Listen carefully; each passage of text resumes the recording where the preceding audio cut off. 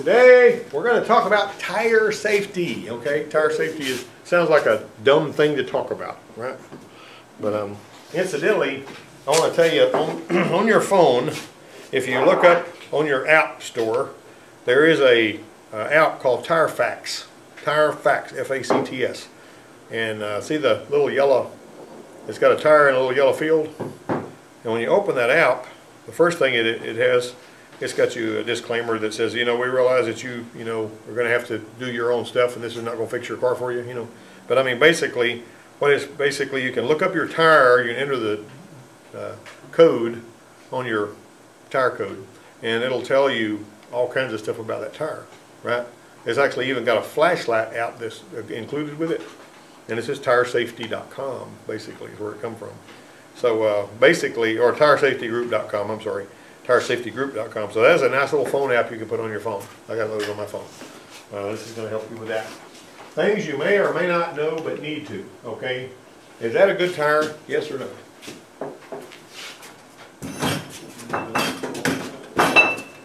Somebody talk to me. You see anything, see anything wrong with that tire? Look just fine. I mean, now that's not a good picture of it, but what I'm saying is just what you see, it's a, it's a sort of a pixely picture of it, you know? I mean, give me a break, you know, but just look at that tire, you'd think, that tire's okay, right? Looking at it. Yeah, okay. Look at that. That tire that you were just looking at was this one right here, and this one right here. See how pretty that tread is? That tread looked, that tire looked just as good as that one, right up until it came apart. And this thing flipped over five times and totaled it out, but Daniel walked away. Oh, Yeah, it really is. And the, the problem is, he had tires on that thing. When he got it, it had been sitting up, and those were very old tires, like 10, 12 years old. They looked really good. He walks around, kicks the tires, says, Man, these tires look great. I won't need tires for a while. Well, wasn't very long before he needed a vehicle. Well, he put a lot of work into that vehicle too. You remember, he was working on it all the time. But the tires came apart, and that was the part that was the most important. But he worked on every other little thing, the power windows and all this other kind of stuff, and ignored the tires. And this is what happened. All right, so doesn't matter how good they look or where they were stored. You could keep them in a warehouse, out of the weather, in the dark. If they're more than six years old, they are dangerous. You got me? And I was trying to tell one of my dual enrollment people that the other day. He was going to put some tires on his truck that were 14 years old. No. They were made in 03, but they still had the whiskers on them. They were brand new tires. What could go wrong? You know what I mean? Deteriorating. Yeah, this is this could go wrong. See where it was? All right, so oxygen over time causes flexible components of the tire to harden and become brittle.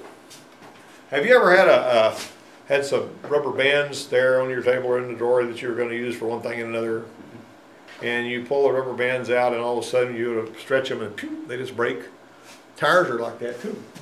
When this process comes of age, tires, just like an old rubber band, they tend to break.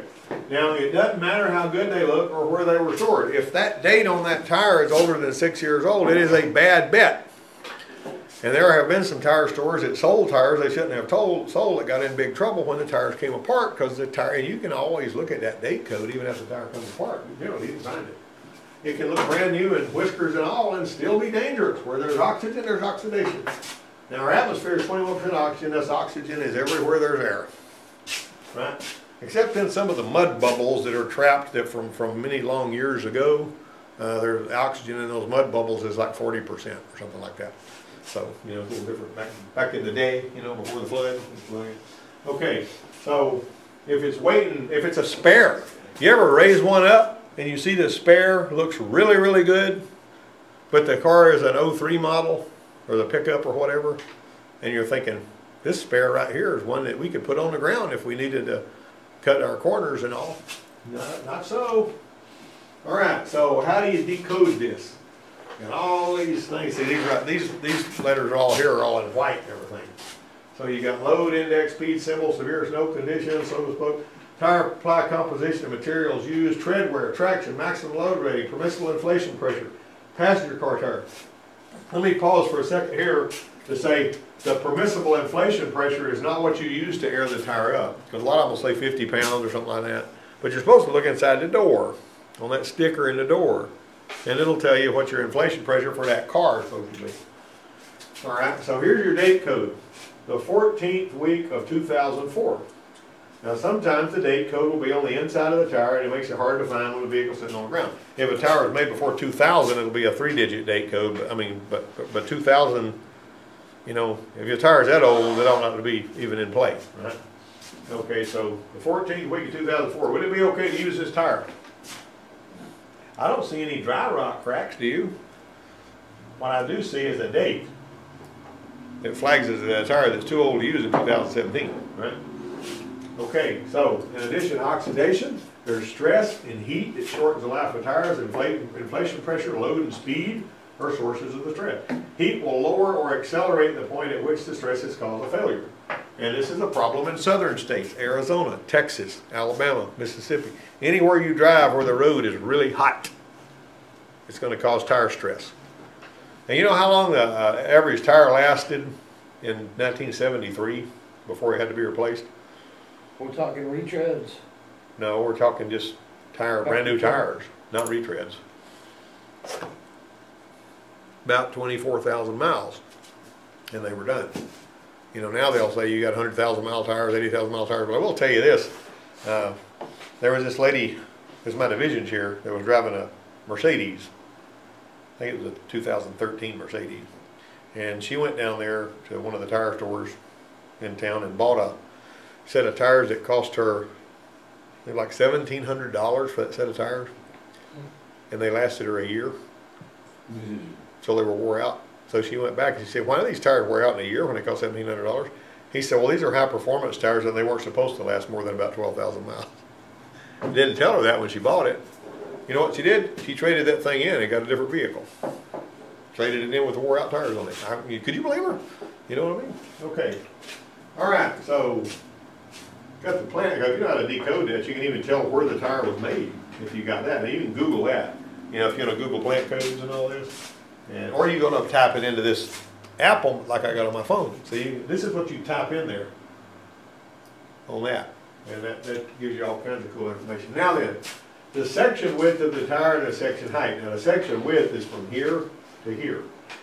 Now you're not going to be measuring this. It's going to be actually something you can tell what it is by looking at the tire.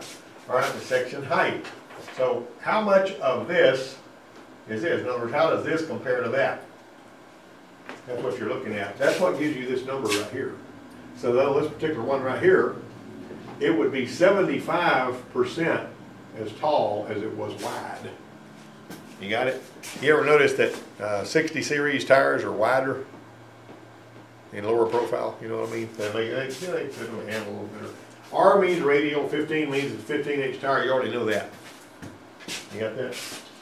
So, uh, it's hard to measure, but the numbers are easy to see.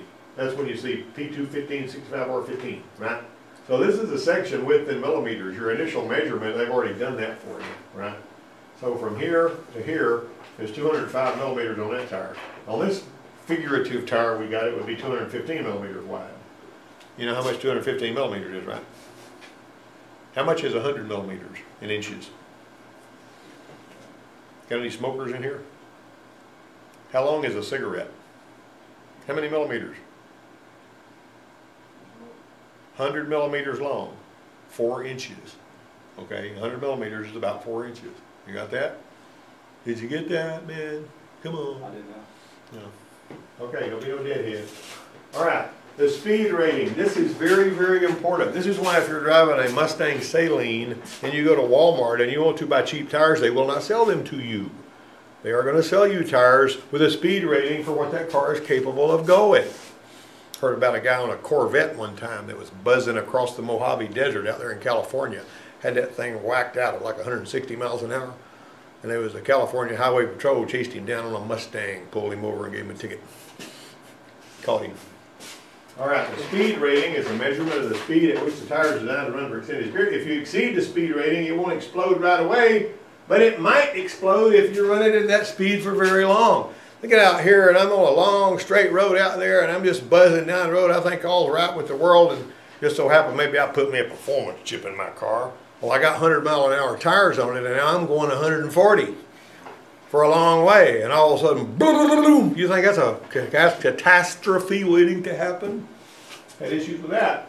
Now you see that S, 112, T, 118, U, 124. Memorize this, there'll be a pop test on it. H, 130, V, 149, Z is over 149 miles an hour. If you got a speed rating, that is, if you got a speed rating of Y, that tire will handle over 186 miles an hour. I mine a lot. Yeah, ain't that something? Now, what you can do, if you are, you know, rich enough or whatever, and you're driving a car that tops out at about 100 miles an hour, because the engine controller ain't gonna let you go any faster than they want you to. The tires are the, one of the determining factors. But, and the suspension and other thing, but the tires primarily. Okay, so what you got here, if you wanted to buy a W tire and put it on a car that wouldn't go to 112 miles an hour, would that be a problem? No, it would not be a problem. Because you got a speed rating that's beyond what you're ever gonna go. I mean, I'm sure that the, uh, that little red car that, uh, Eli drives would probably just, you know, book on out of here and set the road on fire. Okay. Now then, the tire's load index is a measurement of how much weight each tire is designed to support. The bigger the number, the higher the load capacity. To find out what ninety-five means, you've gotta go look it up in a load carrying capacity tire chart. But you can basically look at that on this app on the phone too, or you can just pull up a, you can actually go online and pull up a load, you know, you mean, uh, decode for that. Ninety-five indicates a maximum weight of one thousand five hundred twenty-one pounds per tire, per tire. Which means you gotta multiply by four to get the total capacity for a full set of tires. Over six thousand pounds. Yeah, something like that. All right, making them last a little longer. Antioxidants are compounds added to rubber that slows oxidation. They're trying to kind of make it not oxidize so much, right? Antioxidants are used as an additive or almost all exterior rubber and plastic parts on a car to one degree or another, but they're used mostly in tires. Without antioxidants, to modern tires, this probably wouldn't have high mileage tires. So that helps, right? Well, they need tires a lot more often. The sun and heat would rot away the rubber compounds out the antioxidant. And these compo- uh, compounds came into use just before 1970, but even then, the average car tire lasted only about 24,000 miles. All right, now, how many of you guys had bicycle tires you had to keep aired up? You ever have that? Isn't it annoying when your bicycle tire going flat all the time? You know what I'm saying? And uh, one time I went to the store on my bicycle, pushed it up there, two miles to the store, out in the country, where go there. So I said, I'm gonna put me some air in this tire, because back in those days, you had air at the pump, you had water at the pump, you had everything you wanted at the pump. It was free, you know what I'm saying? And you come over with, I I'm gonna air this thing up, where it don't lose air again. And when I aired it up, it got, it was really, really big and tight and hard. I must put sixty pounds of air in it. It was one of them big tires. It wasn't no catgut tire. So I'm headed back with my sixteen ounce Pepsi in the glass bottle like we used to have back in the late sixties. Uh, that was probably, this was probably nineteen sixty-six, you know, I'm cruising along on that bicycle. And I got right out in front of this little sharecropper house over there where this family lived. When I was right in front of that house, that tire blew out. Boom! Sounded like a shotgun going off. My Pepsi went one way, I went the other, scared the daylights out of me. And all that family come running out on the front porch saying, who shot, who shot? They just knew somebody busted off a shotgun. It sounded like a shotgun. Okay, it was probably because it has, it was a tire that was too old. It was more than six years old and I shouldn't have been riding on it. That's what it was. Okay, antioxidants cause blooming. Now, you see ever seen tires starting to turn brown like that? You ever see that? Huh? I've seen, What happens is, that stuff, this ozonate, antioxidant works its way to the outside of the tire and is exposed to air, it oxidizes and starts to turn brown. This ugly brownish look is called blooming. So, you can walk up to somebody that's parked out there, if you notice their tires are brown and it doesn't look like they've been in the mud or nothing, you can say, your tires are blooming. And they're gonna say, get away from me, man, what are you talking about? You know? But that's basically what this is, you see the brown tire. I showed David Bronner when he came over here with his pickup and dropped them tires off, we had a breakdown yesterday. I said, these tires are blooming, you know, and he was like, huh? You know, yeah, he knows a pretty good bit about tires, we've never heard that before. Some people wanna take silicone uh, compounds and put on the tires to supposedly help them, you know, but all that does is cause them to break down quicker. There's some things you just don't need to do, right? All right, now doing the work. Tires are everywhere. When we do service work on a vehicle, we need to pay particular attention to the tires. We don't genuinely care about our customers and their vehicle related safety. We should be doing some other kind of work. You got me? If you don't care, you don't give a rip. If you feel like be aight, you know what I'm saying? We're gonna make sure that we're gonna look after this guy. This guy right here, he's the service rider actually, he's not the mechanic. But basically, whenever you're talking to somebody, this is their car. Like I say, you can actually get in this mindset if you're not really careful, and this is a little soft skills moment, where you worked on so many cars, 12, 15 cars a day, which I was doing for a while, when I was the only drivability guy at the Ford place. And we'd run 100 cars a day through the shop, and I'd have to work out 12, 15 of them. But anyway, it gets to the point where every car that comes through there is just another job. You know what I mean? You can get to the point where you're not really careful, you don't take it seriously. I mean, a vehicle inspection, where you didn't even open the hood and you just checked all the boxes, you know what I'm saying? Boy, you can get in some serious trouble like that. I heard about a mechanic that was supposed to be doing safety inspections up in New England somewhere. And he's supposed to jack the car pull the wheels off, inspect the brakes. He didn't do it. He just checked that box, felt like it'd be okay. And the old lady's brakes failed and she died because of the brake failure and they threw him in the jailhouse. Because he was supposed to be doing a state mandated safety inspection and he didn't take it seriously. See what I'm saying? So, well, I give you these safety inspections on these cars out here. If the high mount stoplight don't work, you're forty percent more likely to get rear-ended. So don't say you checked the high mount stoplight when you didn't, because sometimes that thing's out, okay? All right, now then, after looking at the tread, check the pressure. Now watch this demo here. I filmed that. Fifty percent, it can be up to fifty percent underinflated and you will not be able to look at it and tell it, right? Okay, so not only the underinflated power more prone to damage and failure, look at that, that's actually covering this up. That's, they, see- they fix gas mileage. Now here's a tip. Somebody brings a car and they want to tune up, you do their plugs, you change their throttle body, you check the codes, you make sure that everything's like it's supposed to be, you know, you double check their belts and their, all that kind of stuff. Well, they didn't say anything about their tires, but you look at their tires and you bring their air pressures up, a lot of times you'll come in there, they have twenty-six pounds. How many times do you guys check the car out here that we were working on? Check the tire pressure and it's supposed to be thirty-five pounds and it's like 22, 25, 23. I mean, it's happened all the time. All right, so that's the way that goes. All right, so it ought to be checked on all tires once a month. Never do an alignment without checking tire pressure. And a failure final, do an alignment without checking tire pressure. Check your tire pressure every time. I actually need to put a tire pressure gauge over there that just stays in the front end pit and don't ever move, as if that was gonna happen, right? Are they gonna walk off, right? All right. All right, let me go here. This is me and Joey Henry at the trade show in Kansas City. I gotta throw a picture, you know, an off-ball, off-the-wall picture in there. And, um, so, say hey to Joey. Joey's a heck of a nice guy. He's the one that sells all the scan tools and everything, and, uh, people all over the place call Joey. When I went to that, uh, I met Joey when I was at that, at Craig Van Batenburg Hybrid School in two thousand ten. And one of the things I noticed about Joey, I didn't know Joey, I'd never met him before, as soon as somebody, as Joey started to say something, everybody in that room would shut up and listen.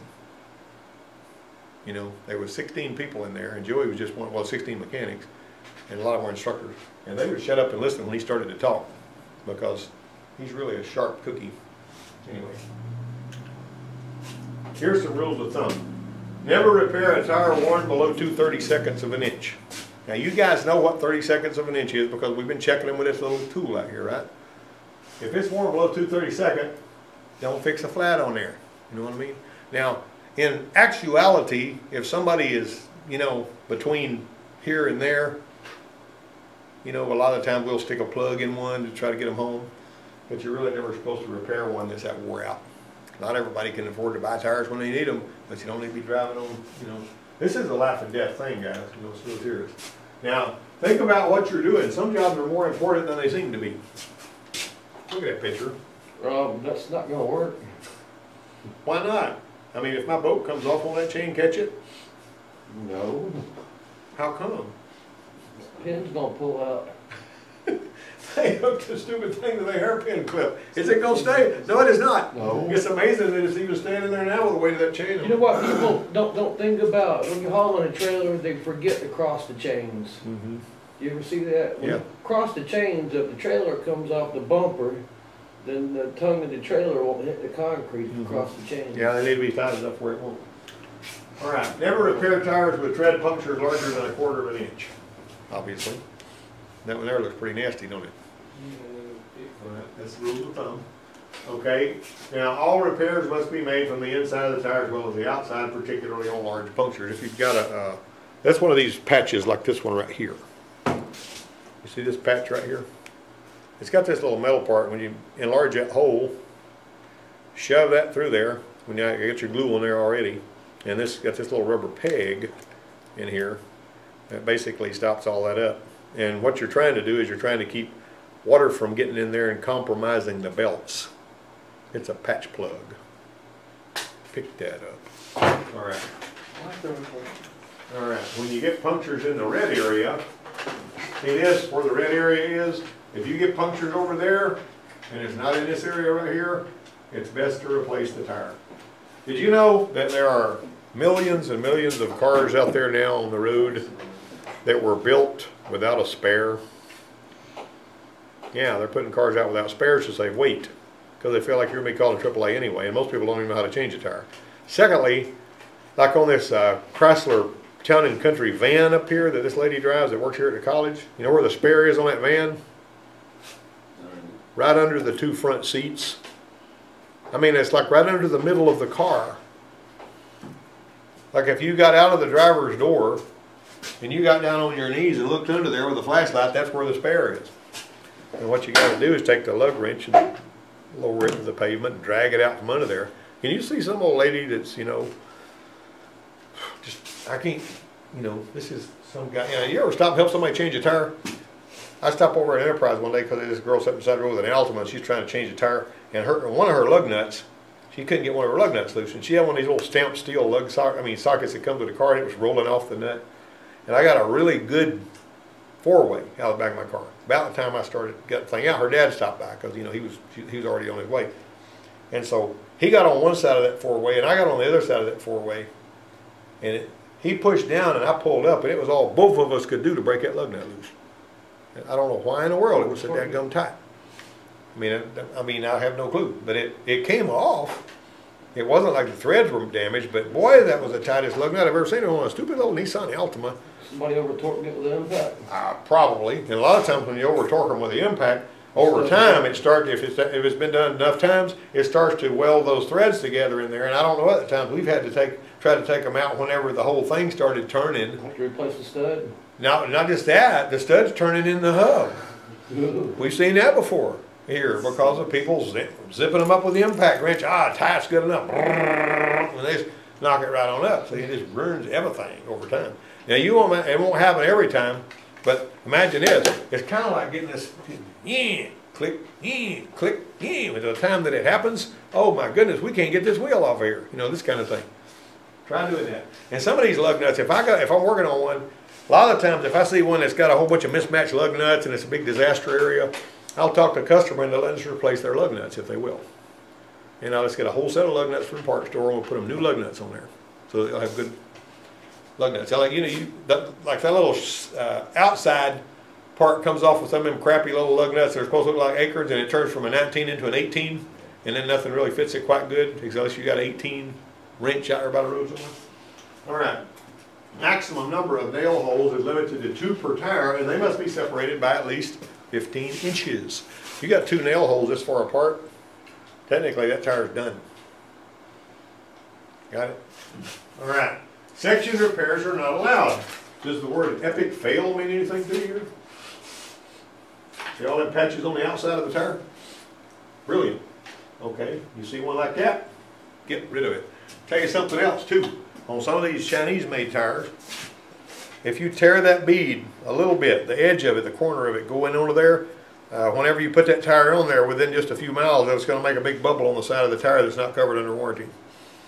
If you tear that bead just at least a little bit, putting the tire on there, so be doggone careful when you're putting some of these tires on there, because when you, you know, that you might think that bead's not important, but it's really important. Even the, the that little sharp edge of the bead that's on the inside, you know, you tear that a little bit on some of them Chinese tires. Not on every tire, but we've actually had it happen here where one of the tires, the guy that's putting them on tore the bead just a little bit, and a big old bu bubble, a piece of baseball swelled up on the side of the tire just a few days after we put it on.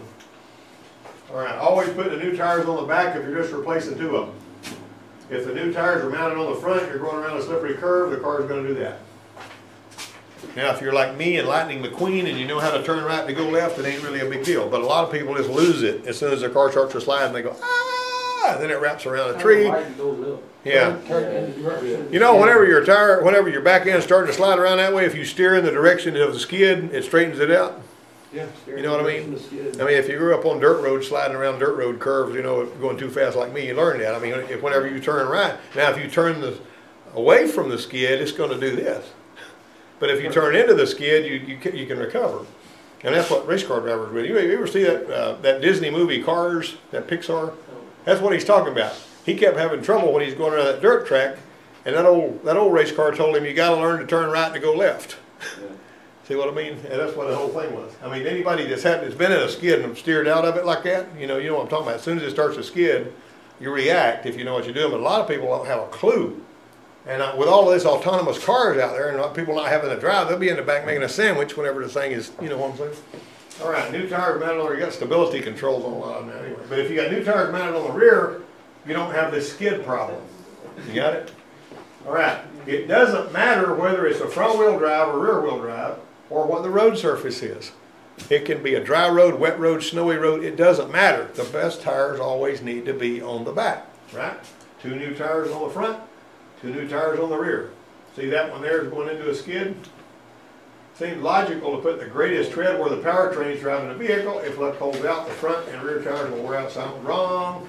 When you're putting new tires on there, make doggone sure they're on the back. That's all the deal. Now, this guy right here is Ron Margadonna, Senior Technical Marketing Manager for Michelin Tires. And this is what he said, verbatim, the two new tires should always be placed on the rear axle and the older tires moved to the front. If you go to Sam's Club in Dothan or wherever, and you look up there on the wall in the tire, and you know, the service center for the tires, there's a big poster that says if you're putting new tires on the car, if you're only putting two, put them on the back. Big poster up there. That's why it says that. This reason has been proven on test tracks and in labs. It's all about oversteering, understeering, and the physics of a vehicle's center of gravity. When new tires have been installed on the rear axle, listen to this now. The recommended rotation pattern requires keeping the tires on the same axle but rotating them from side to side. Now, if you got something like a Chrysler Crossfire or Fire or a DeLorean, that the tires on the back are bigger than the ones on the front, you're gonna have to do that anyway, you know. But if it's got brand new tires, nice late model tires on the rear and one on the front a little bit more, go side to side with them, don't go front to back. All right. The older mechanics will argue with you about that. They will, I mean, they will, they'll argue with you about it. As a matter of fact, uh, you know, Zane was working up at Firestone and they were telling him that, and I was saying, well, you know, I never really thought about that, but I hadn't heard that before. And when I got, started looking into it, I said, if Firestone says it, there must be something to it, because they got in trouble years ago about tires coming apart. And they know what they're talking about if they're, if they're a tire manufacturer. And so I started looking that up, and it turned out that every single time, no matter what, the new tires need to go on the back. That's all they remember that. You ain't save somebody's life that way. This information's all over the place. You cannot Google a place anywhere online that says it's okay to put the new tires on the front and the old ones on the back. You know, if you look at tire manufacturers, people know what we're talking about. Here's finally, last slide in the show. Always use a torque wrench or torque sticks. These are torque sticks. You can buy a set of torque sticks. These right here. You ever notice how your impact wrench, when you got a long extension on it, you can't get as much torque on it? Like when you're working on a, you know, pulling a transmission out or something? They got these and they're various different colors for various different torques. See? And so they're pretty expensive, but you can go to Harbor Freight Salvage and you can get a set of those for like fifty-eight dollars. They're, they're a little higher than that if you buy them somewhere else, but you probably ought to buy some good ones, you know what I'm saying? Wherever you want. Well, these basically are, uh, something that you can get, if you always, if you wanna use the impact wrench, it's fine if you're using these. If you don't have these, you use a torque wrench. We use a torque wrench here because I wanna make sure everybody gets that habit, right? And that's the end of the slideshow.